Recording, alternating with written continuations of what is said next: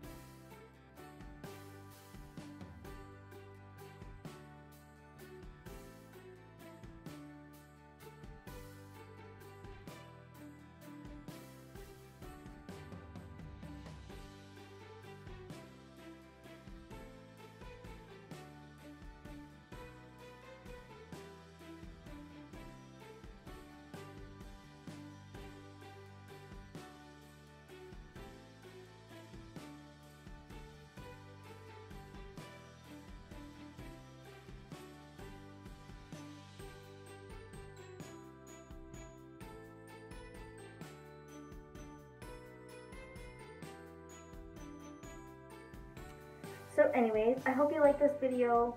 Um, I hope it wasn't too shaky. I really try not to shake, but I get a little bit anxious like going through the stores with the camera, especially like when people are in the aisles. But um, yeah, if you like this video, give it a big thumbs up. And if you haven't subscribed and you'd like to, um, make sure you do down below. I really appreciate it, and I always try to subscribe back. So I will see you guys in my next video tomorrow because I am vlogging every day or putting a video up every day.